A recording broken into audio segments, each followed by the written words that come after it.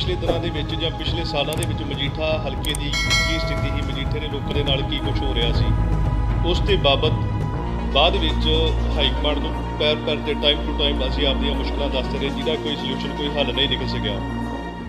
ਬਾਅਦ ਵਿੱਚ ਜਦੋਂ ਪਤਾ ਲੱਗਾ ਜੀ, ਐਸੀ ਭਾਈਚਾਰੇ ਨੂੰ ਲੈ ਕੇ, ਐਸੀ ਭਾਈਚਾਰੇ ਨੂੰ ਖੁਸ਼ ਕਰਨ ਲਈ ਕਾਂਗਰਸ ਹਾਈ ਕਮਾਂਡ ਨੇ ਸਰਦਾਰ ਚਰਨਜੀਤ ਸਿੰਘ ਚੰਨੀ ਨੂੰ ਆਪਣਾ ਮੁੱਖ ਮੰਤਰੀ ਬਣਾ ਦਿੱਤਾ।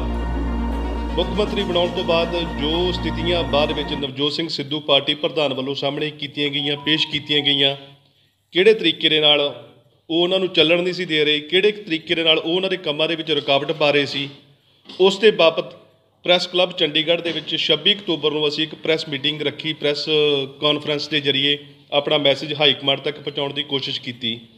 ਉਹ ਮੈਸੇਜ ਇਸ ਸੀ ਕਿ ਜੇ ਤੁਸੀਂ ਐਸੀ ਭਾਈਚਾਰੇ ਦਾ ਸੀਐਮ ਅਨਾਉਂਸ ਕਰਕੇ ਉਸ ਨੂੰ ਬਣਾ ਦਿੱਤਾ ਅਤੇ ਹੁਣ ਉਸ ਨੂੰ ਹਟਾ ਕੇ ਸਿੱਧੂ ਜਾਂ 2022 ਦੇ ਵਿੱਚ ਨਵਾਂ ਸੀਐਮ ਫੇਸ ਕਿਉਂ ਬਣਾ ਰਹੇ ਹੋ? ਕਿਉਂ ਤੁਸੀਂ ਆਪ ਹੀ ਕਹਿ ਰਹੇ ਸੀ ਕਿ ਦੂਜੀਆਂ ਪਾਰਟੀਆਂ ਐਸੀ ਫੇਸ ਨੂੰ ਅੱਗੇ ਲਿਆਉਣ ਦੀ ਗੱਲ ਕਰ ਰਹੀਆਂ। ਕੋਈ ਕਹਿ ਰਿਹਾ ਡਿਪਟੀ ਸੀਐਮ ਬਣਾਵਾਂਗੇ, ਕੋਈ ਕਹਿ ਰਿਹਾ ਸੀਐਮ ਬਣਾਵਾਂਗੇ, ਲੇਕਿਨ ਕਾਂਗਰਸ ਕਹਿ ਰਹੀ ਵੀ ਅਸੀਂ ਉਸ ਚੀਜ਼ ਨੂੰ ਪੂਰਾ ਕਰ ਦਿੱਤਾ। ਸਾਡਾ ਉਹਨਾਂ ਨੂੰ ਸਵਾਲ ਸੀ, ਬੇਨਤੀ ਸੀ, ਜੇ ਤੁਸੀਂ ਇਹ ਚੀਜ਼ ਸਾਡੇ ਲਈ ਕੀਤੀ ਹੈ ਐਸੀ ਭਾਈਚਾਰੇ ਨੂੰ ਮਾਣ ਦਿੱਤਾ ਕਿ ਉਹ ਸਿਰਫ 3 ਮਹੀਨੇ ਲਈ ਦਿੱਤਾ ਕਿ 2022 ਲਈ ਵੀ ਉਹ ਚੀਜ਼ ਸਟੈਂਡ ਕਰੋਗੇ? ਸੀਨੀਅਰ ਲੀਡਰਸ਼ਿਪ ਦਾ ਇਹੀ ਮੈਸੇਜ ਸੀ ਕਿ 2022 ਦੇ ਵਿੱਚ ਵੀ ਕਾਂਗਰਸ ਵਿੱਚ ਐਸੀ ਫੇਸ ਹੀ ਹੋਏਗਾ, ਚਾਹੇ ਉਹ ਚੰਨੀ ਜੀ ਹੁੰਦੇ ਆ ਜਾਂ ਕੋਈ ਹੋਰ ਹੁੰਦਾ। ਲੇਕਿਨ ਉਸ ਤੋਂ ਬਾਅਦ ਸ਼੍ਰੀਮਤੀ ਸੋਨੀਆ ਜੀ ਗਾਂਧੀ ਵੱਲੋਂ, ਗਾਂਧੀ ਜੀ ਵੱਲੋਂ ਇੱਕ ਮੈਸੇਜ ਆਉਂਦਾ ਕਿ ਮੈਂ ਪਾਰਟੀ ਨੂੰ ਵਿਵਾਦਾਂ ਦੇ ਵਿੱਚ ਨਹੀਂ ਲੈ ਜਾਣਾ ਚਾਹੁੰਦੀ। ਇਸ ਕਰਕੇ ਜਿਹੜਾ 22 ਦਾ ਫੇਸ ਹੋਊਗਾ ਇਲੈਕਸ਼ਨ ਤੋਂ ਬਾਅਦ ਅਨਾਉਂਸ ਕੀਤਾ ਜਾਊਗਾ।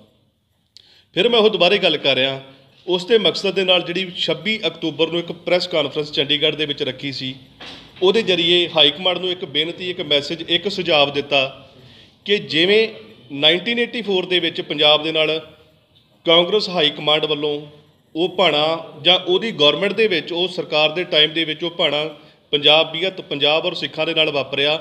ਜੇ ਇਹ ਚੀਜ਼ ਤੁਸੀਂ ਕਰਕੇ, ਐਸੀ ਫੇਸ ਨੂੰ ਅਨਾਉਂਸ ਕਰਕੇ, ਐਸੀ ਮੋਢੇ ਤੇ ਰੱਖ ਕੇ, ਬੰਦੂਕ ਚਲਾ ਕੇ ਆਪਣੀ ਗਵਰਨਮੈਂਟ ਬਣਾਉਂਦੇ ਜੇ ਔਰ ਰਿਜ਼ਲਟ ਤੋਂ ਬਾਅਦ ਆਪਣਾ ਫੈਸਲਾ ਵਾਪਸ ਲੈਂਦੇ ਜੇ ਔਰ ਇਹ ਸਾਡੇ ਨਾਲ ਦੂਜੀ ਵਾਰ ਧੋਖਾ ਹੋਊਗਾ।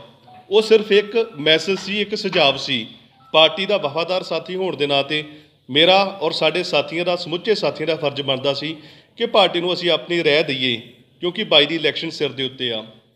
ਉਸ ਤੋਂ ਬਾਅਦ ਕੀ ਹੁੰਦਾ ਜੀ?